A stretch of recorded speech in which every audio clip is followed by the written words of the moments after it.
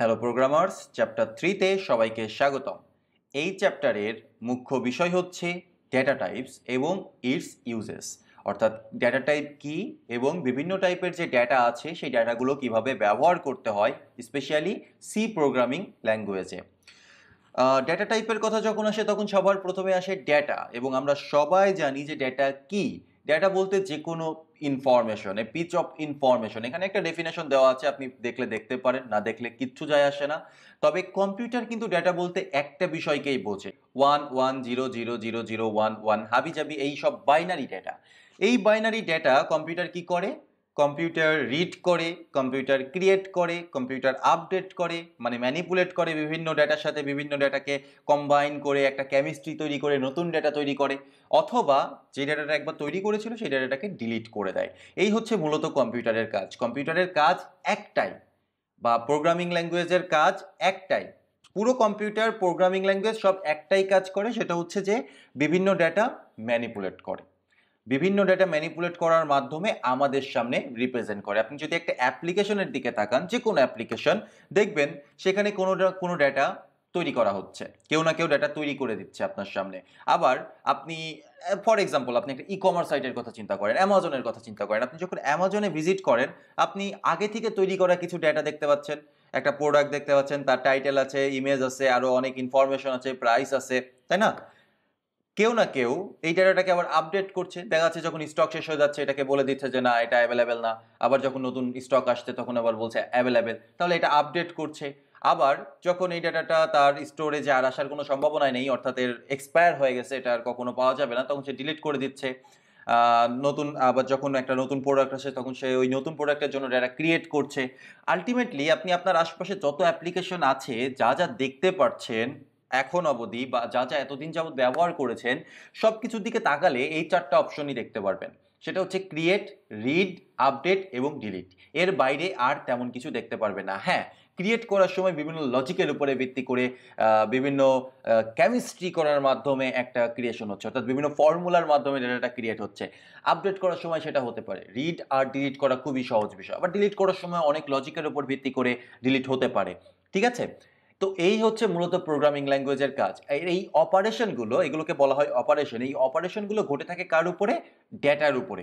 কিন্তু প্রবলেম হচ্ছে এই ডেটাটা বাইনারি ডেটা আর বাইনারি ডেটা সম্পর্কে আমরা মানুষরা কাজ করতে একদম পছন্দ করি না।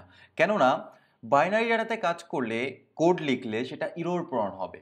ডিবাগ করা কষ্টকর হবে। দেখা যাচ্ছে আপনি বহু কষ্ট করে একটা যোগ বিয়োগ গুণভাগের অ্যালগোরিদম লিখে ফেললেন বাইনারি ডেটাতে লিখে তো ফেললেন, কিন্তু পরবর্তীতে দেখা গেল যে সেখানে একটা বাঘ আছে, কোনো না কোনো ইরোড আছে। সেই ইরোডটা আপনি এখন ফাইন্ড করবেন কীভাবে? অনেক কষ্টকর হবে। যেমন লিখতে কষ্ট হয়, ঠিক তেমনি ইরোর ফাইন্ড করতে, ডিবাগ করতে অনেক কষ্ট হয়। এই জন্য আমরা প্রোগ্রামার্সরা বা সাধারণ মানুষরা কি করলাম? যে আমাদের বোঝার মতো করে ডেটাগুলোকে ভাগ করে ফেললাম। কীভাবে ভাগ করলাম?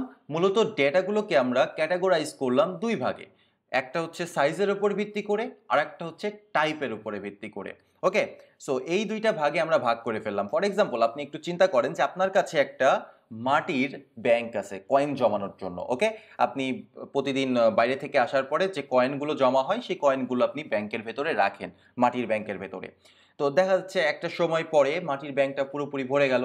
সেখানে এক টাকার কয়েন আছে, দুই টাকার কয়েন আছে, পাঁচ টাকার কয়েন আছে, অনেক রকমের কয়েন আছে। তো আপনি মাটির ব্যাংকটাকে ভাঙলেন, ভাঙার পরে এখন আপনাকে গুনতে হবে যে আসলে এখানে কত টাকা আছে। আপনি কি করবেন? আপনি একটা, এক টাকার কয়েন তারপরে একটা দুই টাকার কয়েন তারপরে একটা পাঁচ টাকার কয়েন এভাবে যোগ যোগ যোগ যোগ যোগ যোগ করে করে যাবেন? নাকি আপনি ক্যাটাগোরাইজ করবেন? একটা জায়গায় সমস্ত এক টাকার কয়েন রাখবেন, একটা জায়গায় সমস্ত দুই টাকার কয়েন রাখবেন, একটা জায়গায় সমস্ত পাঁচ টাকার কয়েন রাখবেন। তাহলে কি হলো? ক্যালকুলেশন করা সুবিধা হয়ে গেল না? তো আপনি এখানে কি করলেন? আপনি এখানে ডেটা টাইপ তৈরি করে ফেললেন। কার উপরে ভিত্তি করে? টাইপের উপরে ভিত্তি করে। এক টাকার কয়েন একটা জায়গায়, এক টাইপ দুই টাকার কয়েন আলাদা একটা টাইপ তিন টাকার কয়েন আলাদা একটা টাইপ সরি তিন টাকার তো কয়েন না, পাঁচ টাকার কয়েন পাঁচ টাকার কয়েন আলাদা একটা টাইপ ওকে সো এই যে ব্যাপারটা, বিভিন্ন টাইপের ডেটা বিভিন্ন টাইপের ডেটার উপরে ভিত্তি করে বিভিন্ন ডেটা টাইপ তৈরি করা যায়। আবার বিভিন্ন সাইজের উপরেও ভিত্তি করে ডেটা টাইপ তৈরি করা যায়। এখানে যেমন আমি টাইপের কথা বললাম এক, দুই, পাঁচ, এটা কিন্তু আবার সাইজের উপরও ডিপেন্ড করে ওকে তো আপনারা হয়তো একটা কথা খুব শুনে থাকবেন, যদি আপনি সি প্রোগ্রামিং এর এর আগে কোনো ব্লগ পড়ে থাকেন, কোনো আর্টিকেল পড়ে থাকেন কোনো ভিডিও দেখে থাকেন, কোনো বই পড়ে থাকেন, তাহলে একটা কথা হয়তো শুনবেন, সেটা হচ্ছে C is a statically typed programming language এই কথাটার অনেক মর্ম আছে এবং এই পুরো চ্যাপ্টার জুড়ে আমরা সেই কথাটাকেই প্রমাণ করতে যাচ্ছি এবং দেখতে যাচ্ছি যে C statically typed programming language বলতে আসলে কি বোঝায়। কথাটা খুবই সহজ। মানে টার্মসটা অনেক জটিল মনে হচ্ছে যে স্ট্যাটিক্যালি টাইপড ল্যাঙ্গুয়েজ আমি যখন প্রথম শিখতে চাই আরে এই ওয়ার্ডটার মানে কি? এটা তো খুব কঠিন কিছু মনে হচ্ছে। ব্যাপারটা কিছু না। আপনারা ভ্যারিয়েবল ডিক্লেয়ার করা শিখেছেন? ভ্যারিয়েবল ডিক্লেয়ার করার পূর্বে আমাদেরকে ওই ভ্যারিয়েবলের অর্থাৎ ওই ডেটাটার একটা টাইপ বলে দিতে হয় যে এটা ইন্টিজার টাইপের ডেটা না এটা টেক্সট টাইপের ডেটা না এটা অন্য কোন টাইপের ডেটা সেটা আমাদেরকে বলে দিতে হয় না? তো সেই যে বলে দিতে হয়, এই বলে দেওয়াটাই মূলত ডেটা টাইপ বা স্ট্যাটিক্যালি টাইপড ল্যাঙ্গুয়েজ অন্যান্য হাই লেভেল ল্যাঙ্গুয়েজের দিকে তাকান, যেমন জাভা স্ক্রিপ্ট পাইথন এইসব ল্যাঙ্গুয়েজে যখন আপনি ভ্যারিয়েবল ডিক্লেয়ার করেন, তখন কিন্তু আপনাদেরকে বলে দিতে হয় না যে এটা ইন্টিজার টাইপের ডেটা এটা টেক্সট টাইপের বা হচ্ছে এটা ক্যারেক্টার টাইপের বা এটা স্ট্রিং টাইপের এটা কিন্তু বলে দিতে হয় না। এটা অটোমেটিক্যালি কম্পাইলার বুঝে নেয় যে এটা আমাকে কোন ধরনের ডেটা স্টোর করতে হবে।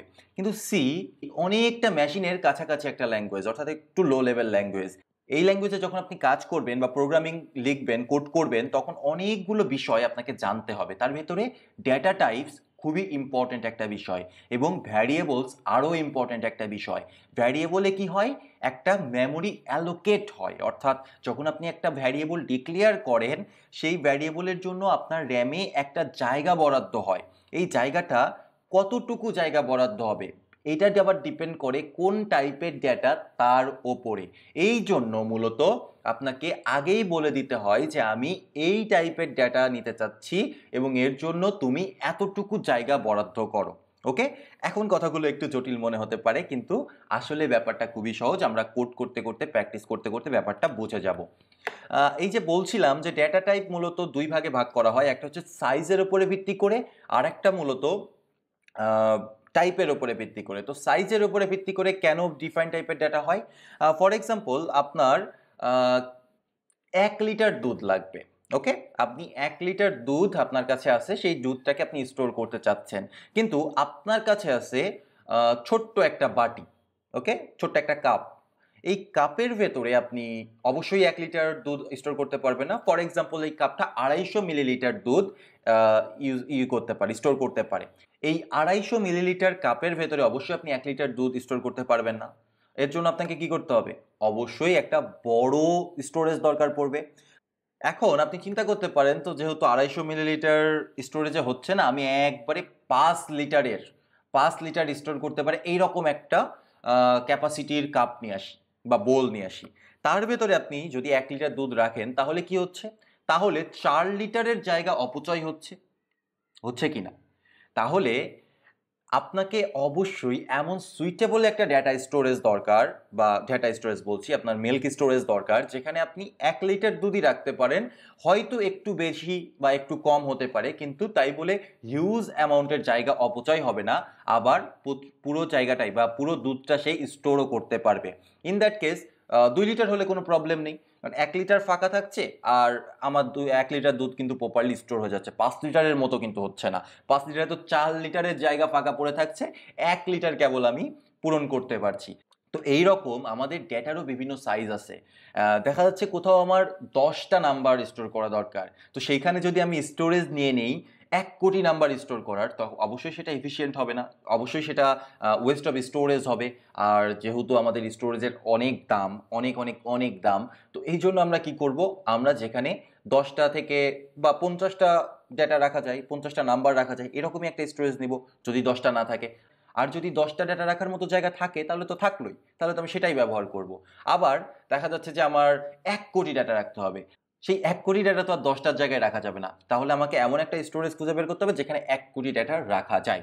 এই জন্য বিভিন্ন সিচুয়েশনের উপর ভিত্তি করে বিভিন্ন সাইজের ডেটা ডেটা টাইপ তৈরি করে রাখা আছে। আর দ্বিতীয় আরেকটা বিষয় হচ্ছে, সেটা হচ্ছে টাইপের ওপরে অ্যাকচুয়াল টাইপের উপর ভিত্তি করে ডেটা টাইপকে ডিফাইন করা হয়েছে। একটা হচ্ছে নাম্বার একটা হচ্ছে টেক্সট একটা হচ্ছে বুলিয়ন ইমেজ এখানে ইমেজ বলতে আসলে কিছু নেই বা সি ল্যাঙ্গুয়েজের টেক্সট বলতে আসলে কিছু নেই। আমি বিভিন্ন টাইপ বলতে এটাই বোঝাতে চাচ্ছি যে নাম্বার একটা ডিফারেন্ট টাইপ নাম্বার আর টেক্সট কিন্তু সেম না। আপনি কখন আপনি অবশ্যই একটা নাম্বারের সাথে আরেকটা নাম্বারের যোগ বিয়োগ গুণভাগ করতে পারবেন, কিন্তু একটা নাম্বারের সাথে আরেকটা টেক্সটের যোগ বিয়োগ গুণভাগ করতে পারবেন না, তাই না? তাহলে অবশ্যই নাম্বার আর টেক্সট দুইটা ডিফারেন্ট জিনিস। তারপরে বুলিয়ান। বুলিয়ান মানে হচ্ছে ট্রু আর ফলস তাহলে এটাও একটা আলাদা জিনিস। এটা কখনোই কিন্তু নাম্বার বা টেক্সটের সাথে ম্যাচ করানো যায় না। ইমেজ আমি এখানে বলেছি ইমেজ একটা টাইপ আমি ভিডিও বলতে পারি ভিডিও একটা টাইপ কিন্তু ইমেজ ভিডিও এগুলো বলতে আসলে সি প্রোগ্রামিং ল্যাঙ্গুয়েজে কিছু নেই। কিন্তু এগুলো স্টোর করার ডিফারেন্ট সিস্টেম আছে, সেগুলো আমরা পরবর্তীতে জানতে পারব। সি প্রোগ্রামিংয়ে যেসব ডাটা টাইপগুলো আছে, সেই ডাটা টাইপগুলো নিয়ে আমরা পরবর্তী ভিডিওতে আলোচনা করব। আসলে এই ভিডিওতে আপনাদেরকে আমি বোঝাতে চাচ্ছিলাম ডেটা টাইপ অ্যাকচুয়ালি কি এবং এর ইম্পর্টেন্সটা কি? যখন আমি বিভিন্ন ডেটাকে বিভিন্ন জায়গায় আলাদা আলাদা করে রাখব তখন আমার সেই ডাটাটা অ্যাক্সেস করতে সুবিধা হবে। একটা স্টোরে যদি একটা র্যাকের ভেতরেই একটা জায়গায় এক ধরনের প্রোডাক্ট তার পাশে আর একটা ডিফারেন্ট টাইপের প্রোডাক্ট তার পাশে আর একটা ডিফারেন্ট টাইপের প্রোডাক্ট এইভাবে হজবরলাভাবে সাজানো হয়, তাহলে অবশ্যই কাস্টমার স্যাটিসফাইড হবে না। সে একটা প্রোডাক্ট চাইলেও খুঁজে পাবে না। কিন্তু যদি ওই একটা র্যাককেই সুন্দরভাবে বিভিন্ন প্রোডাক্টকে অর্গানাইজ করে একটা একই প্রোডাক্ট একই জায়গায় রাখে, তাহলে কিন্তু যে কেউ বলে দিতে পারবে যে ওই স্টোরে কখনো এর আগে যায়নি, সেও কিন্তু যে বলে দিতে পারবে যে এই দোকানে আসলে কি কি আছে এবং কোথায় কি আছে। অর্গানাইজিং, এই অর্গানাইজিংটাই কিন্তু সব থেকে ইম্পর্টেন্ট ফ্যাক্ট এবং এর জন্যই ডেটা টাইপ ইম্পর্টেন্ট তাহলে পরবর্তী ভিডিওতে আমরা সি প্রোগ্রামিং ল্যাঙ্গুয়েজের ডেটা টাইপ সম্পর্কে আলোচনা করব এবং জানব যে সি আমাদেরকে এক্স্যাক্ট কী কী ডেটা টাইপ প্রোভাইড করছে।